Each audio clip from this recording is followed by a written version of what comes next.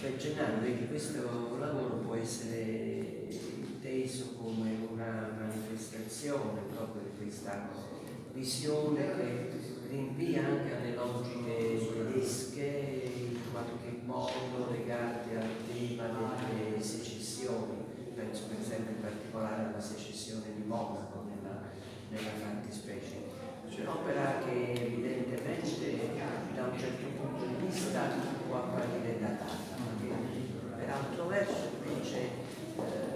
essere anche intesa come un tentativo di proiettarsi verso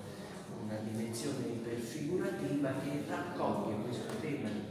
secessionistico però lo lancia verso altre eh, più avanzate prospettive, quindi anche più vicine al nostro tempo,